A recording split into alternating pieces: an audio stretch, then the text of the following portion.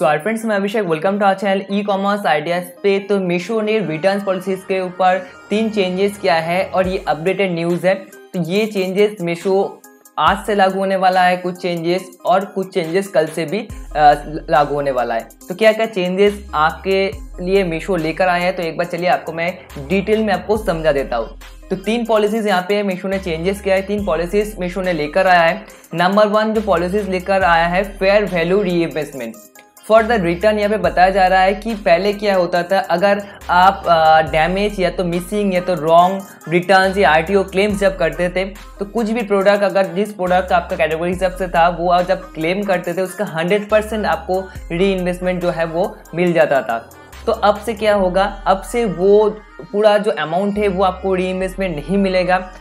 मीशो ने यहाँ पे आ, कुछ कैटेगरीज वाइज आपका प्रोडक्ट वाइज वैल्यू मेंशन किया हुआ है। उस हिसाब से आपको रिटर्न मिलने वाला है। तो क्या मतलब क्या कैटेगरी सिलेक्ट किया है, उस हिसाब से कितना अमाउंट किया है कि एक्सेल शीट आप देखिए, यहाँ पे पूरा शीट यहाँ पे दिया हुआ है और इस शीट के अंदर आप पूरा डिटेल आपका कैटेगरी के हिसाब से आपको देख पाएँगे कि आपने जो प्रोडक्ट क्लेम किया है, आप री के लिए या तो रॉन्ग रिटर्न या तो मिसिंग के लिए, उसका री कितना आपको मिलेगा कैटेगरी वाइज तो इस शीट का लिंक मैं डिस्क्रिप्शन में दे दिया हूँ, जाके आप चेक कीजिए, आपका पूरा डिटेल यहाँ पे हो जाएगा। फॉर एग्ज़ाम्पल आप हो, अगर बताऊँगा मैं आपको तो क्या होगा कि अगर आप कोई भी वोमेन साड़ीज आप सेल कर रहे हो टू हंड्रेड रुपीज़ में और आप क्लेम के बाद आप एलिजिबल होंगे वन सेवेंटी सिक्स रुपीज़ में मतलब eighty eighteen eighty eight percent of the product value वो आपको वहाँ पे मिलने वाला है। और वो भी डिपेंड करेगा आपका जो कैटेगरीज है, आपका जो शीट के हिसाब से, जो कैटेगरीज का परसेंटेज है, उस हिसाब से आपको यहाँ पे मिलने वाला है। और ये सिर्फ़ एप्लीकेबल होगा damage missing wrong return missing या तो रॉन्ग रिटर्न और आरटीओ क्लेम के टाइम ही ये एप्लीकेबल होने वाला है। नेक्स्ट जो पॉलिसीज़ यहाँ पे मिशो ने चेंजेस किया है कि अगर यहाँ पे जो नेक्स्ट चेंजेस जो है reinvestment for R T related claim अगर आप आर टी रिलेटेड क्लेम करते हो कोई थर्ड पार्टी लॉजिस्टिक जो है वो आपके पास प्रोडक्ट देता है और वहाँ पे आपको प्रोडक्ट रॉन्ग रिटर्न मिलता है या तो फिर डिफेक्टिव या तो कुछ भी मतलब आपको वहाँ पे रिटर्न मिलता है तो आर टी ओ क्लेम पे अगर आ, पहले क्या होता था आर टी ओ क्लेम करते थे आपको उसका जो रिटर्न है वो मिल जाता था या ब्रोकन हो या तो फिर डैमेज कुछ भी हो आपको मिल जाता था। अब से क्या होगा? फ्लिपकार्ट रिसेंटली एक यूनिक पैकेजिंग जो है लॉन्च करने वाला है। अभी तक लॉन्च किया नहीं है। शॉर्टली लॉन्च करेगा मीशो उस पैकेजिंग के ऊपर एक यूनिक क्यूआर कोड होगा, जो प्रोडक्ट आप जब शिप करेंगे, वो जो कुरियर बॉय जो पिकअप करेगा, वो स्कैन करेगा। और जब वो प्रोडक्ट कोई भी आरटीओ रिटर्न होगा मतलब वो ओपन नहीं हो रहा है कस्टमर के, वहाँ पे कोई भी टच नहीं हो रहा है प्रोडक्ट के ऊपर तो तब जाके वो भी फिर से स्कैन होगा और आपके पास आएगा।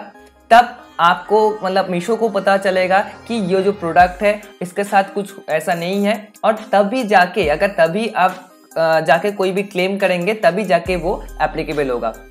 मतलब उस पैकेजिंग को आपके यहाँ से स्कैन करके कुरियर बॉय पिकअप करेगा, उसके बाद जब आपके पास रिटर्न आएगा, तभी वो स्कैन होगा। और उसके बाद अगर आप कोई भी इशू हो, आप आरटीओ क्लेम करें, तभी जाके एलिजिबल वो होगा, अगर उस पैकेजिंग क्यूआर कोड के साथ वेरीफाइड हो तो।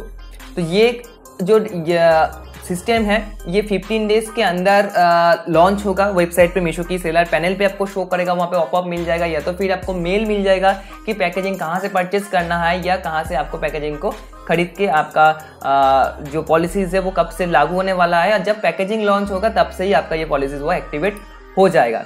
अगर यहाँ पे बात है कि अगर अगर अगर उस पैकेजिंग मतलब इस पैकेजिंग के छोड़ के आप कोई भी नॉर्मल पैकेजिंग में अगर प्रोडक्ट को शिप करेंगे, अगर तब जाके कोई भी डिलीवरी रिलेटेड कोई भी इशू हो आरटीओ रिटर्न के वक्त कोई भी इशू हो तो वो एप्लीकेबल नहीं होगा।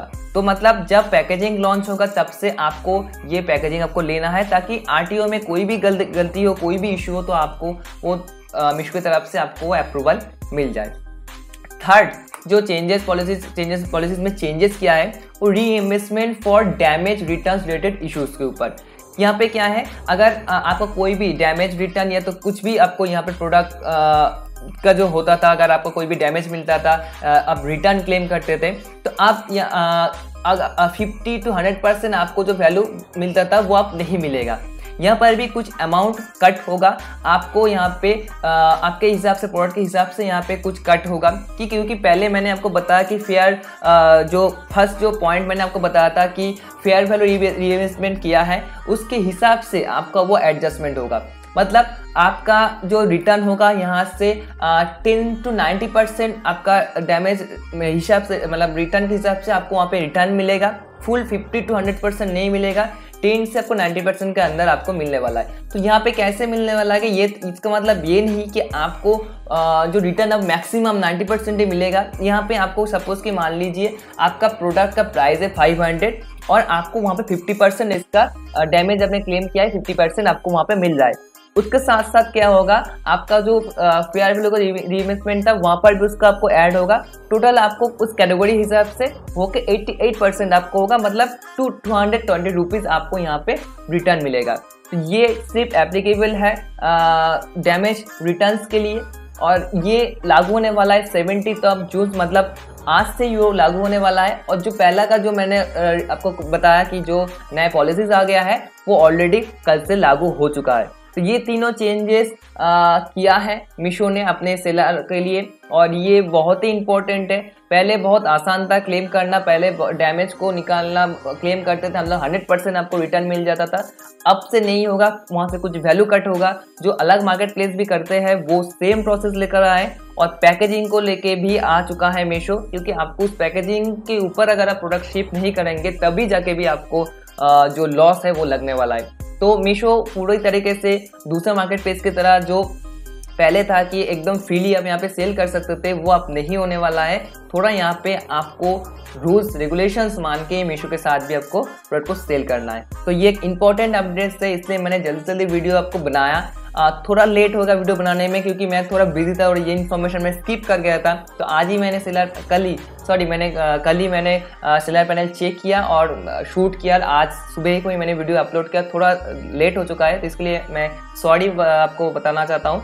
तो ये अपडेट्स हैं। तो प्लीज़ अगर इस वीडियो से आपका कोई भी इन्फॉर्मेशन अच्छा लगे तो प्लीज़ ज़रूर लाइक कीजिएगा शेयर कीजिएगा। और अभी भी आप हमारे में नए हैं तो भी सब्सक्राइब ज़रूर कीजिए और बेल आइकन दबा दीजिए कोई वीडियोस आप हमारे चैनल की मिस ना करें। और आप हमारे सोशल मीडिया पर भी फॉलो कर सकते हैं। लिंक आपको इस बॉक्स में मिल जाएगा। तो आज का वीडियो इतना ही। मिलते अगले वीडियो में। तो के लिए धन्यवाद।